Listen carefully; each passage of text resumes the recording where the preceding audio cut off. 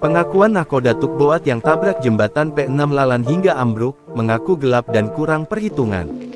Penyebab Tukboat Madeline Spirit menabrak jembatan P6 Lalan Musi Banyuasin terungkap.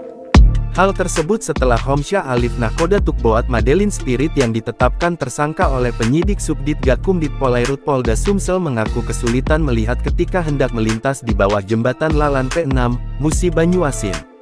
Hal ini disampaikan Kabit Humas Polda Sumsel Kombes Pol Sunarto, saat dikonfirmasi, Rabu tanggal 14 Agustus tahun 2024. Ia mengatakan penyebab tertabraknya jembatan karena diduga adanya human error.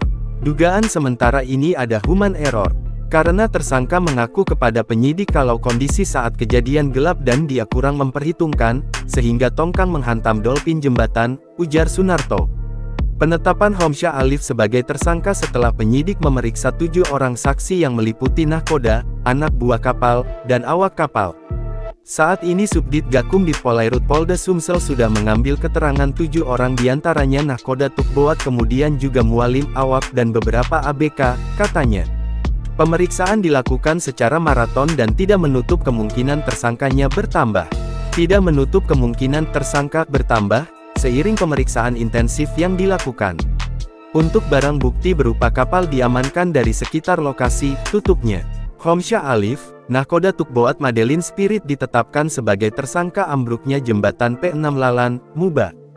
Insiden ambruknya jembatan P6 Lalan mengakibatkan lima warga tewas usai terjatuh ke sungai.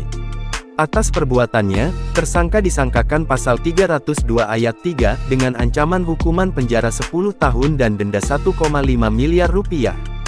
Pasal yang didisangkakan, pasal 302 ayat 3 ancaman hukuman 10 tahun penjara serta denda 1,5 miliar rupiah, dan atau pasal 323 ayat 2 dan 3 ancaman 10 tahun penjara denda 1,5 miliar rupiah UU nomor 17 tahun 2008 tentang pelayaran, dan atau pasal 359 KUHP ancaman hukuman penjara 5 tahun, ujar Kabit Humas Polda Sumsel Kombes Pol Sunarto, Rabu tanggal 14 Agustus tahun 2024. Saat ini tersangka juga sudah dibawa di Polairut Polda Sumsel guna menjalani pemeriksaan lebih lanjut. Download Tribun X sekarang, menghadirkan lokal menjadi Indonesia.